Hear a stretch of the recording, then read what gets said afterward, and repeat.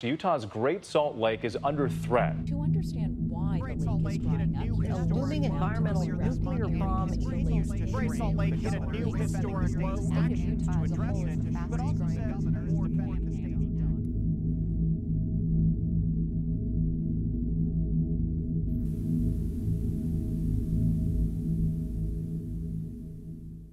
This is the Great Salt Lake, and it's drying up so much so that its volume is now down at least 67% from the levels seen when pioneers first settled in the valley surrounding its banks. In the 1980s, the lake's surface area was over 3,300 square miles. Now it's under 1,000 square miles. The lake is at record low levels, exposing large plains of toxic dust and putting the lives of over 2 million people who live on its shores in danger. But why? There are two main reasons we can blame on the lake's worrying decline climate change and direct human interference. We'll start with the latter. A staggering amount of water from the mountain runoff streams and creeks that feed the lake is being diverted to instead feed the sprawl of Salt Lake City.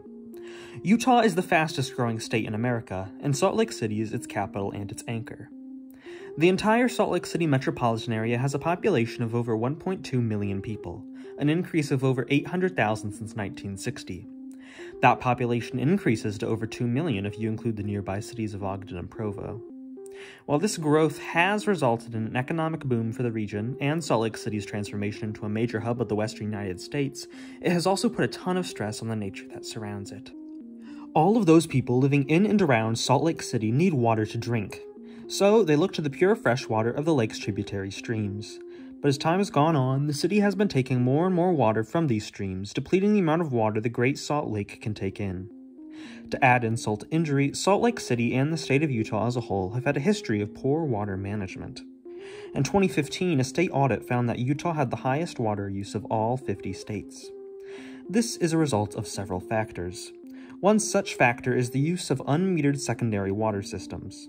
These systems were inspired by irrigation systems used in the agricultural industry, but were instead used by thousands of Utahns to water and maintain their lawns. These secondary systems took water straight out of rivers and streams and pumped it directly to residents, saving them large sums of money, as using the regular water they received in their homes was a lot more expensive. Since the water being pumped through these secondary systems was untreated and still full of sediments, dirt, and debris, it was impossible to install meters on the systems. This meant that the users of these systems never quite knew how much water they had used, or if their systems were leaking or damaged. Since water providers were clueless as well as to how much water customers were receiving through these secondary systems due to the lack of meters, they instituted a flat rate that today averages about $250 per customer. Regardless of how much or how little water the customers used, they still had to pay this amount. This system gave no incentive to customers to conserve their water and lacked any accountability for overusage. People were simply able to use as much water as they wanted without paying any more than they did before.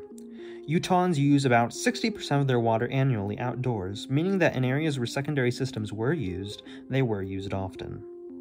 Technology over the years has advanced, and meters have been created that have enabled providers to install them on some secondary systems, but only a fraction of the total amount of secondary systems have them installed. The state government has realized the importance of this situation, though. In 2022, House Bill 242 passed through the Utah House and Senate. The bill promises to cover 70% of the cost to install a meter on secondary systems over the next two years. That percentage gradually declines on an annual basis, incentivizing users of secondary systems to act fast. The bill is backed by a massive amount of money, over $200 million from the American Rescue Plan Act alone. With that being said, however, it's still an uphill battle before this problem is completely solved. There are 221,000 unmetered secondary water connections in the state of Utah, and it's estimated that it would cost nearly 400 million to meter all of those connections by 2030. The state government also has passed numerous other acts aiming to help save and conserve water around the state, with a focus on the Great Salt Lake. These include HB 121, which focuses on water conservation modifications. It puts aside $5 million to cover up to 50% of costs if homeowners are aiming to xeriscape their lawns in an effort to eliminate the need for water and irrigation.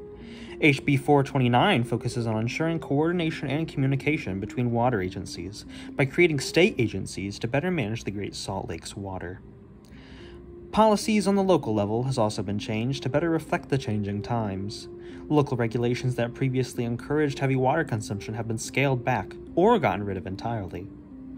These efforts should make a difference in the long term, but there is still another hill to cross climate change.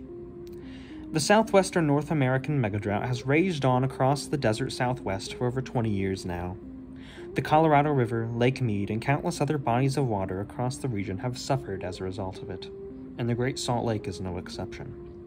Increased evaporation of the lake water and the snow that feeds its tributaries has only made things worse, and the lake is already seeing some of these effects. As mentioned previously, the lake now no longer covers over 1,000 square miles, recently falling below that number. 40 years ago, that statistic likely would have seemed impossible to most people. Back in the 80s, the lake was at its peak, reaching over 3,000 square miles and supporting a very diverse and healthy ecosystem. That is no longer the case. In the dry, barren wasteland that once was the lake bed, deposits of arsenic and other toxic heavy metals sit. These metals have been produced over the years through a combination of natural processes and the heavy industrial presence along the lake shore. Large windstorms often carry through the region, picking up these toxic particles and sending them flying in a cloud of dust towards populated areas on the lake shore, where they reach the lungs of millions of people. As a result of the lake drying up, it's also at risk of becoming too salty. If the lake's salt concentration were to rise to around 17%, much of the algae that grows in the water would not be able to survive. This could lead to a mass die off of the flies and shrimp that survive off of it, which in turn could result in the disruption of the tens of millions of birds that visit the lake every year. It would also likely result in a total collapse of the local ecosystem. Thankfully, as noted previously, the state and local governments are taking steps to improve the health of the lake, but they need to act fast. Demand is set to exceed supply by 2040. The clock is ticking. Will they be able to save the Salt Lake before it's too late? Only time will tell.